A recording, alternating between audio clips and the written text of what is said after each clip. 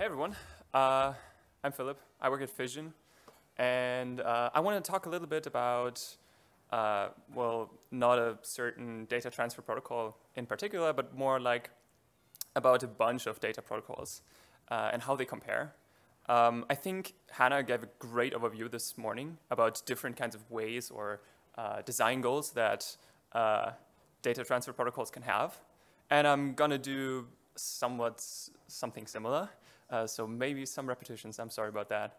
Um, anyhow, well, let's not get, get ahead of ourselves. Um, basically, uh, when we began at Fission and we were thinking, well, data transfer and IPFS, well, what do you do? Well, you use IPFS pin. So we would have a server, we would have some clients, and when we want to transfer data, we would pin from the server and fetch stuff from the clients. Um, this turned out to be not amazing sometimes. I mean, we've heard the story a bunch of times. So BitSwap is behind IPFS pin, and that can be uh, difficult sometimes because of various issues, uh, DHT issues, connection management, and lots of ones. Like uh, I think, yeah, uh, that was mentioned in a previous talk also. But I, this talk is not about DHT issues. This, I mean, this is the data transfer talk, not or track, not the uh, content routing track. So. Um, let me talk about the transfer issue, which is basically what we found is, well, you fetch the root block in Bitswap, then you find more CIDs at the client, then you uh, fetch more blocks, and it continues. So you have a bunch of round trips. Um, how do you get rid of this problem? Well, you do batching. And so most of the data transfer protocols that we see today uh, that people are building are basically uh, trying to solve this via batching. But it's not obvious how. Like, do you use bigger blocks? Some protocols try that. Do you send car files? Well, they're not bigger blocks, they're just a bunch of blocks uh, together. So yeah, um, if it's not that obvious, let's talk about some of the design goals you could go for, that you could aim for um, when you build a new data transfer protocol. So we've already established we want to have few round trips uh, in our protocol. Um, but what is also very imp important, again, uh, Hannah mentioned this. I think I heard of this term first time last year at IPFS thing, and I think it's a great term. It's just incremental verifiability. Um, so this is what sets us apart, or IPFS in general, I think, apart from like just normal HTTP transfer, FTP, or whatever. Um, basically, is the data that I got, that, I, that was transferred, part of what I actually care about, or is it something unrelated? Or I also like to think of it as like the untrusted data buffer size. So you have some buffer that you allocate at, the whatever it's trying to fetch, and it, it, has some certain size, and you don't want to like have too much untrusted data uh, that you fetch uh, because it might be a DOS attempt. Um, it might just be something going wrong, and obviously you don't, you don't want to spend resources on, on some data that you don't care about. It's also part of minimizing trust when you like talk to some other peer in the network. Um, you have a different kind of relationship you need with them. Like I mean, we don't need to know who we're talking to if all we care about is just a CID. So that's a nice advantage that we want to keep. So that's incremental ver verifiability. Um, uh, another thing that uh, some protocols are aiming for is query support. It's, it's some protocols, again, not every protocol is trying to do that. Uh, so for example, for graph sync, that would be, well, you have a root CID and you have an IPLD selector, or you have a root, root IPNS, I guess. Or uh, I think a different form of querying would be range queries and files. Uh, another thing that some protocols are trying to solve is deduplication. So when your problem is not actually transferring some data for the first time, but you actually want to sync something, mirroring, right? Uh, that's what CAR Mirror is trying to solve. Uh, or it also crops up when you have a data transfer, a cold data transfer kind of, but it uh, stops and you need to resume it. Although the resumption, I guess, and we've seen this with the Blake 3 talk uh, this morning, uh, you can also solve this via uh, just querying the parts that you uh, that fail to uh, transfer. Uh, another big thing with deduplication is there are some protocols and some Merkle trees that are really built around structural sharing. So for example, if you have a Prolly tree or if you have a HAMT, uh, you, and you update this very frequently, you may want to take advantage of structural sharing. And if you want to sync the next version of this HAMT, then you want to only sync the diffs. between basically their new version and the last one. And finally, something, and I think this is not something that I thought of in advance, but more like uh, that is a result of the protocols that were uh, built. Uh, some protocols have like a lot of flexibility in what kinds of DAGs they support. Um, for example, uh, do you only support Blake3, the hashing function? Or do you support like arbitrary IPLD data? Or do you need some kind of ADL pre-installed? Uh, so ADL being like the uh, advanced data layouts in IPLD. Um, so there's quite some like flexibility in the design goals of a data transfer protocol. Uh, and let me just basically run through all of the protocols that we have and try to like figure out where they lie. Um, for that, I have this table. And basically, I'm going to compare like IPFS pin, which is basically BitSwap, uh, just sending a car file, uh, then CAR Mirror, GraphSync, and the Blake3 and BAO stuff. The reason I'm doing this is not only like trying to categorize this and put things into like neat little boxes, it's also like trying to explain why we have these many protocols, because some protocols focused in different design goals firsthand rather than others. I think that every protocol in theory could like try to solve every design goal, but it's just that they weren't tackled in the same order for every protocol. Um, and yeah, like everyone needs to simplify in some ways in order to get to something that is working.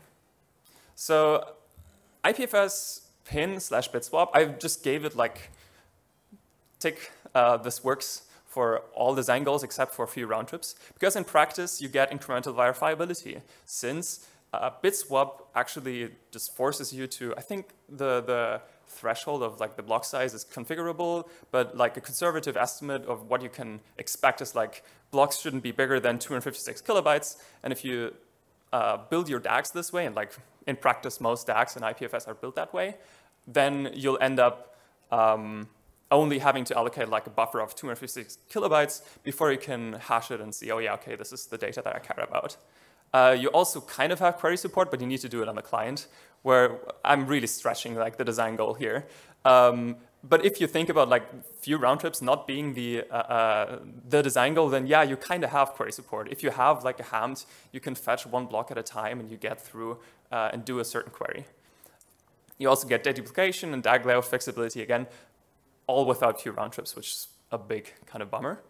Um, with car file transfer, so something like I think Web3 Storage is basically doing this, and lots of other places are doing this today, which is like the basic way of doing uh, batching of uh, block transfer. You get very few round trips. Yeah, you just one one round trip. You ask for something, you get a car file, and it's packed with whatever you want. Um, you don't get incremental verifiability out of the box, I guess. Uh, but I put in like technically you could put the orange kind of middle in between thing here everywhere because just depending on how you pack your car file, of course you can do that, but uh, this is really just as simple like Im imagine an IPFS DAG export and then serving that over HTTP is basically what I'm talking about here. Uh, and so you kind of get incremental verifiability if you do like a topological sort of all of your blocks inside the car file, um, but it's not technically guaranteed uh, someone may send you something that is not that.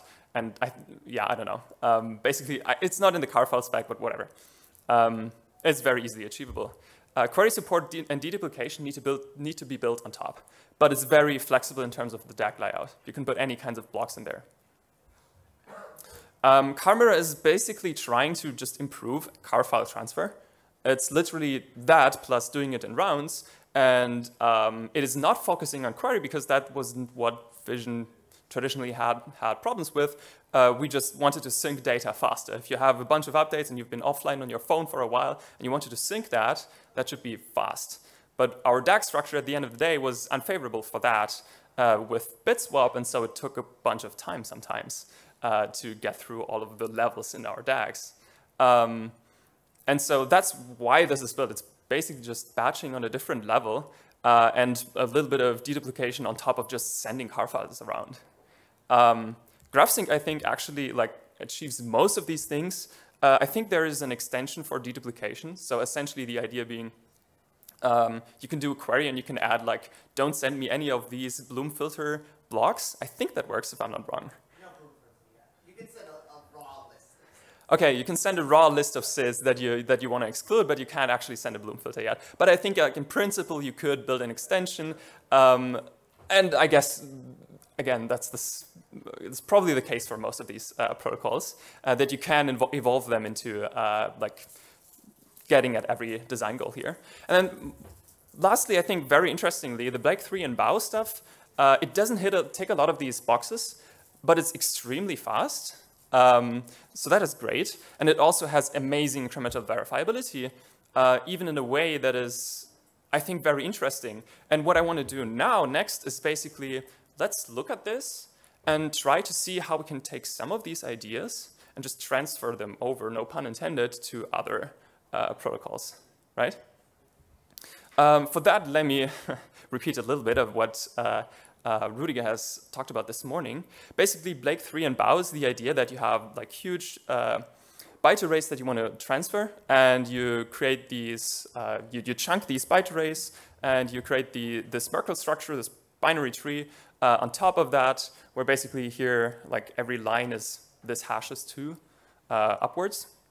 And then you send over, um, starting like when you, when you want to fetch a CID, you send over starting with uh, the tree with a, what was it, pre-order left first, depth first traversal.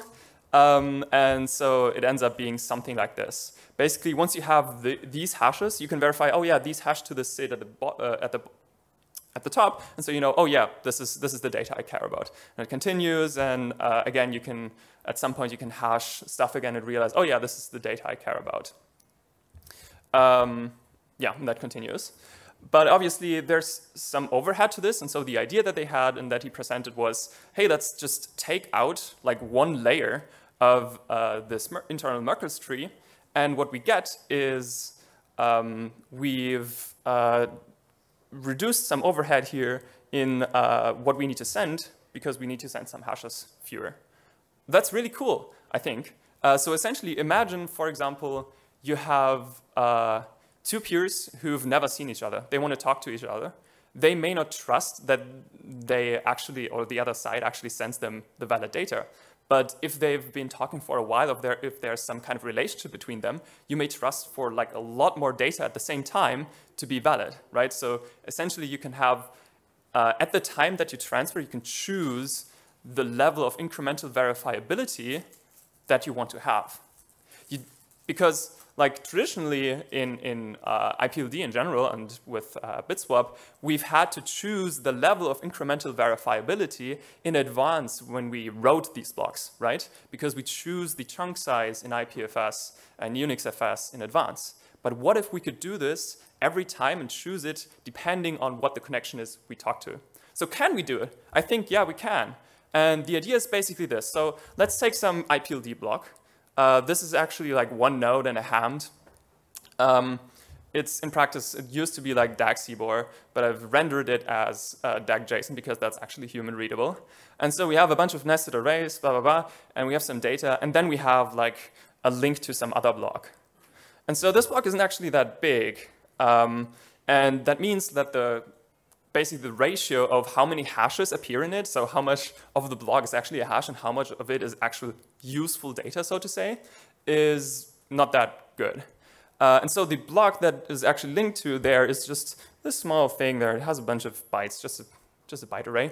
Uh, so what can we do? Well, we can just inline that, and I've just done it like that. So if you look at this, it's basically just taking the thing at the bottom and putting it there where the hash was. But we keep um, the original hashing function that was used, we keep uh, the codec that was used, and we have some sort of, sort of special marker that, yeah, this was inline now.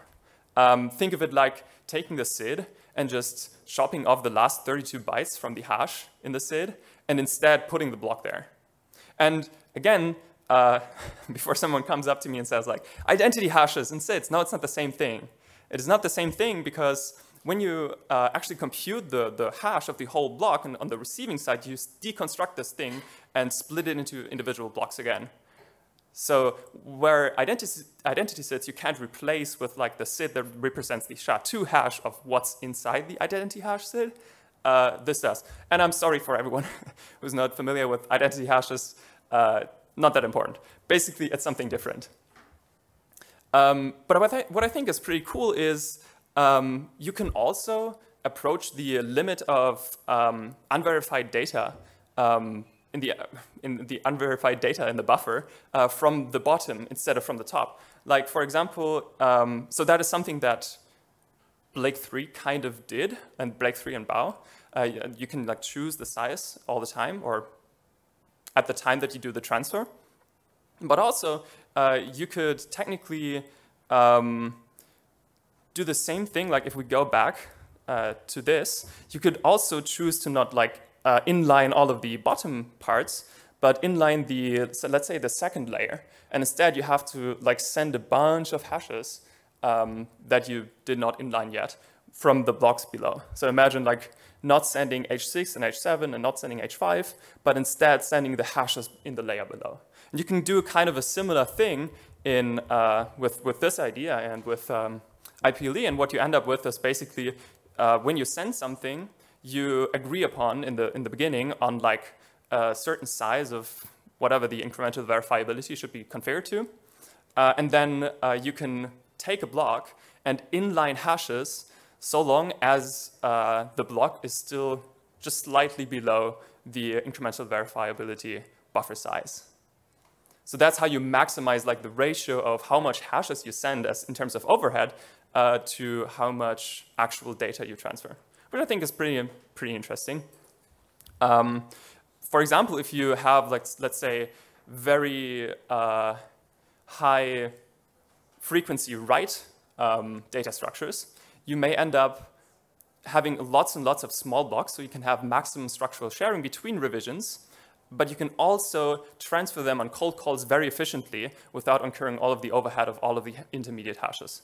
And I think like doing lots of hashing, Blake 3 seems to be like a, a, a case in point that that's not a bad thing to have like small blocks that are hashed together and uh, put into a Merkle structure. It can be fast. Um, is this a, like an idea for Car V3? I don't know. maybe, maybe this is something for that. I don't know. Um, take it, um, do something with it. Um, yeah, that's basically it. Another idea is, well, queries are kind of like code. And I know that IPVM as a project is uh, starting up. We have FVM nowadays. Uh, so perhaps we can take and simplify um, all of the querying code, which is, has a certain limit today on how like complex these queries can be, and uh, replace it with code. I mean, this is not the first time that I'm uh, proposing this idea, but I'm hopefully taking it a little bit further. Uh, basically, there's a problem also, I think, with uh, um, selectors and uh, querying, since you need to have these ADLs, so you need to have, let's say, um, every node needs to know about, yeah, you have a HAMT data structure, these are the support HAMT data structures, and these are the supported uh, byte array abstractions and the chunking methods, and then you need to have some code that knows how to like transform uh, path queries or range queries into these multi-block data structures. And it's a certain set that you need to agree on with all of the peers that are talking to each other. And I think that is one of the problems why uh, adoption has possibly been harder uh, previously. So if you think about it, um, there's people who are coming up with new ways of structuring uh, Merkle data, for example, Prolly trees or different ty types of HAMTs and different encodings, and they can't really participate in all of this um, IPLD with ADL's uh, world and IPLD selectors because they would have to convince IPFS implementations to adopt these ADLs. And even like on, on, on the web, on the front end, uh, we don't even have ADL support in browsers yet or in JS IPFS. And so I think maybe there's a way of um, using, let's say, WASM um, uh, to agree on some, something in advance and use that to overcome all of the uh, agreement that we would have to have on ADLs, right? Uh, basically, the idea would be, well, you send some WASM that goes through your block store and collects all the blocks you care about. Um, there's lots of problems with this. So for example, you need to transfer the WASM file in advance. It can be pretty big. In practice, I guess you would be restricted to a bunch of programming languages which have good tooling uh, to generate small WASM files. Uh, that's a very small set of programming languages. Um, there are some concerns about like, yeah, what if your query runs forever? Um, you suddenly like have something much, much, much more complex. Although I think that uh, queries on their own uh, may have had issues with like how making them more flexible at the same time makes you more susceptible to DOSing or uh, resource hogging, basically. Um, maybe all of that gets figured out and it's easier once we have IPVM because they need to tackle these problems anyhow. Um, so just throwing that out there. And then if we have queries as code, deduplication is kind of like a query.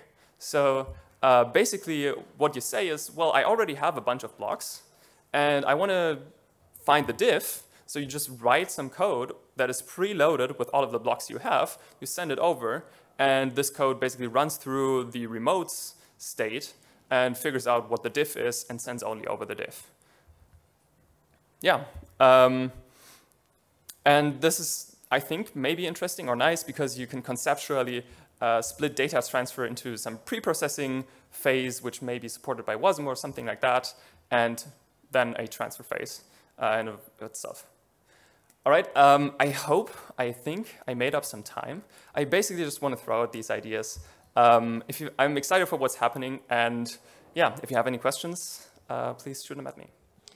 So on the uh, BAO Blake 3 stuff, uh, how does that, uh, do you still get the same level of advantage if you have a really deep data structure as opposed to, because uh, what um, number zero, for example, looks at is sets. So it's really evenly done. What about with something that's uh, narrow and deep instead? Um, yeah, I think like you would need to I think the, the N0 stuff for now doesn't support that, but the more general idea of just inlining the contents of CIDs could theoretically work that. If you have just a very, very long, let's say, linked list encoded as a Merkle tree, or a Merkle list in that case, um, or call it a blockchain, whatever, uh, what you end up doing is um, you just inline all of that until you have something that is a big size and you can do it just going down. It doesn't, it doesn't matter what the, what the topology uh, of, of, of that DAG is. I mean, there's some questions around like, if you don't have a linear kind of uh, tree, but you actually have a tree with multiple children, where do you go down first? Do you go breadth first? Do you go depth first? Um, so there are some, some open questions to that, but yeah.